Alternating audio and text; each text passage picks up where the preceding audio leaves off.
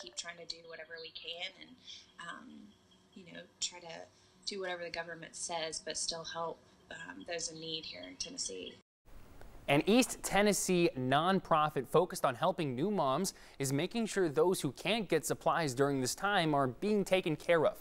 Helping Mamas Knoxville started last fall. Since then, it has helped more than 750 new moms and caretakers in the community. Reporter Amelia Young spoke to them about their efforts.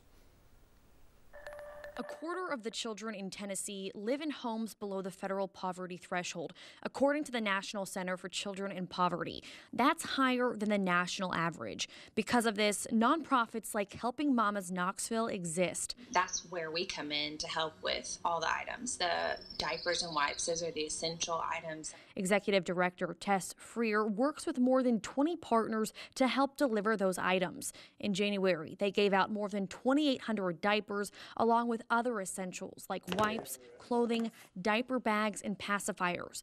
Last month, more than 2,100 diapers, and they expect this month's need to be even more. As more are practicing social distancing, being quarantined in their homes, or possibly being laid off, the nonprofit's job is more important than ever. Some caseworkers are requesting more items because they're worried for those families that are going to be left with, you know, nothing or not able to get out. If you're unable to find toilet paper, Freer encourages you to think about others before turning to alternatives that are essential for babies and children. Just buy what you need, like they're saying, um, and that way everybody has, you know, the option to get the things that they need for their babies.